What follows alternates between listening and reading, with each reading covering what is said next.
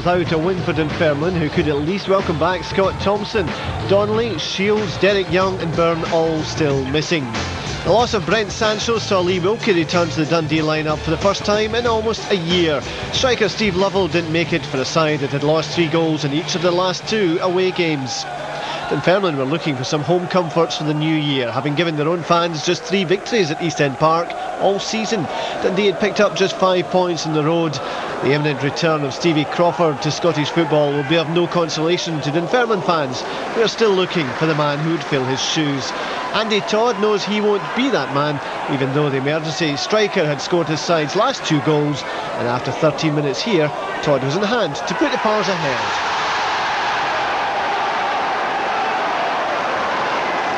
Todd's goal taking him level with Craig Brewster as the club's top scorer with five for the season. Jim Duffy would be unhappy with the side's inability to defend crosses, while Dunfermline were more than happy to look at the wider view, down the flanks bringing a reward. And although Todd was credited with his club's second goal, the credit does have to go to the unfortunate Stephen McNally. Muted celebrations from Todd, who was honest enough to admit he hadn't touched the ball. McNally under severe pressure, unable to clear his lines. Only the fourth time this season Dunfermline had scored more than one goal in a league game. The ever-present danger of Todd almost ensuring a third arrived. Jim Duffy will need as many battling performances as he can get from his men in 2005 and there might well have been a quiet smile of satisfaction from the Dundee manager as his men hit back through Neil Barrett.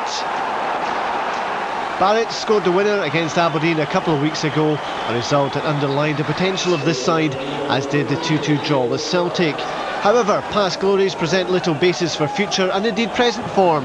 The form man of the present for Dunfermline was Todd. His second delivered a knockout blow to Dundee's hopes in this game. It wouldn't have taken an eagle-eyed view for Jim Duffy to recognise the problems. A free header, Dundee's head swimming from a seasonal taste of hot toddy. Tight as it is at the bottom, only one way for Jim Duffy's men to go now. Their battling qualities will be put to the test in the coming weeks. An interesting ending was denied by the thickness of the post. Mark Fotheringham almost finding a way back for his side. Dunfermline not only held out, they might have added to the lead. Derek Soutar kept out Thomas Butler, but whoever comes in to fill the striker's role over the transfer window, they'll know they'll have to find the net because Dunfermline have, in Andy Todd, a very able deputy. It was altogether more straightforward for Dunfermline in their derby with East Fife, so much so, the Pars found themselves in front after 36 seconds, thanks to Andy Todd's header. But there was no panic from Jim Moffat or his third division side, and it was well into the second half before Dunfermline scored again. Nice goal too. Barry Nicholson's cross landing perfectly at the feet of Noel Hunt, who seemed pretty pleased with himself. The home side knew they were through after that and could relax a little. Gary Dempsey had already hit the woodwork and scored Dunfermline's third with just over 20 minutes left, prompting the Dempsey dance of delight at the prospect of Celtic at home in the next round. Dunfermline were worthy winners, but no one at East End Park begrudged East Fife a goal for their efforts. It came right at the end from the head of substitute Les Bile. 3-1 to Dunfermline then, and it's Martin O'Neill's men who will come visiting on cup duty next month. Press before a two-game suspension. For Stevie Crawford to return to the old gaff by United, they hope that his presence might inspire them to victory. Ian McCall, notebook in hand as he looked for a first away win of the season. United have shown signs of life over the last few weeks and adapted pretty well to the surface. Well enough for Robson to have Derek Stillie worried.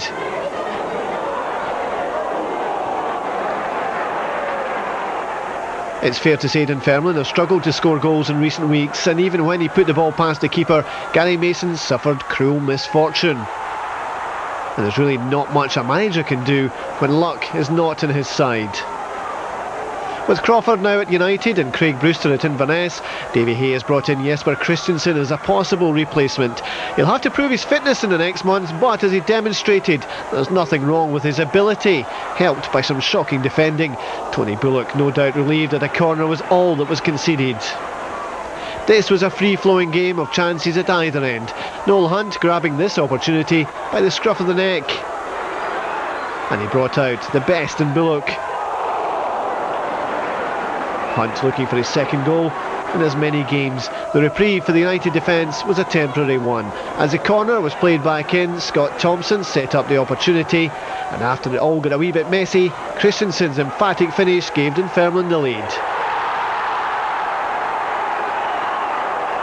Tony Bullock might have taken more charge in his six-yard box. He paid the price for standing back. A first goal for the Dane in Scottish football. A second goal for Dunfermline almost came through Thompson, the defender on the line doing what all defenders on the line should do, standing firm.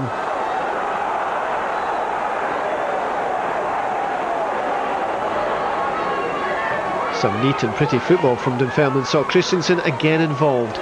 No evidence of a dodgy knee as he eluded his marker, and in the end Noel Hunt will feel he should have done better. On target at least and make the keeper do the work.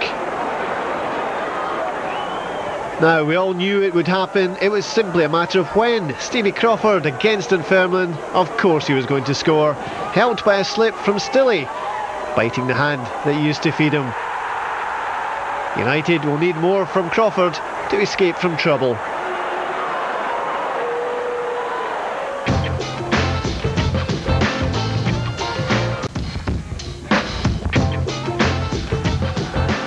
Injury ruled out Scott Wilson from the Dunfermline side, but striker Billy Mehmet had recovered from a foot injury to return up front for Davy Hay's men.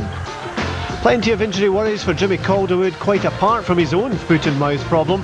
Zander Diamond came back into his usual defensive role. Both managers looking to do their talking on the much talked about pitch at East End Park. Both teams emboldened by a cause. Dunfermline probably more so, as was evident in their play. Barry Nicholson's tenacity setting up a chance for Noel Hunt, which he probably should have taken.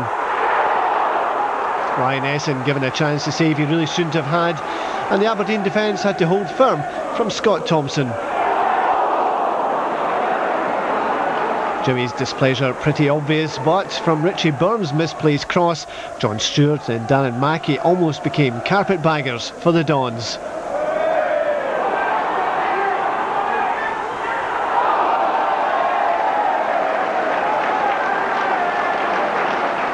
Aberdeen without a win in seven league games before this one, but still capable of cutting defences open. Kevin McNaughton forced too far wide in the end, allowing Derek Stillie the chance to save.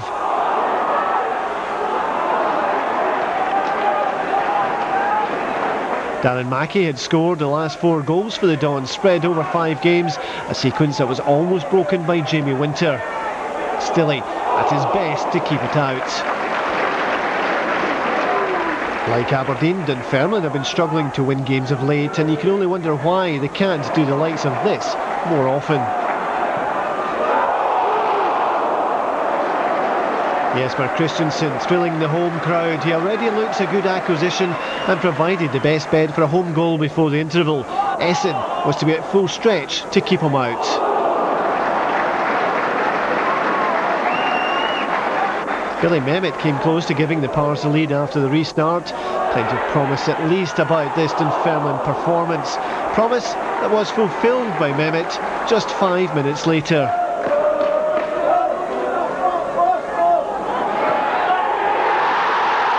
And the celebrations perhaps more elaborate than strictly necessary. It was nevertheless a fine turn and shot.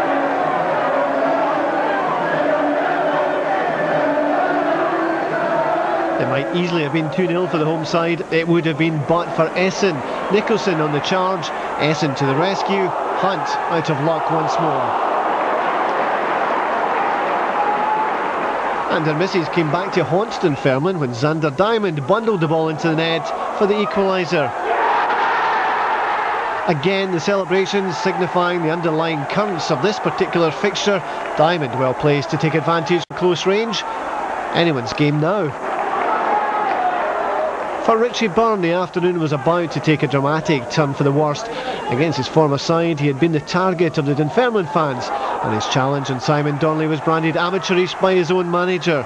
Donnelly kept a cool head to steer the ball home for the winner, and then milked it for all it was worth. Donnelly finishing off a game that exceeded its billing because of its build-up.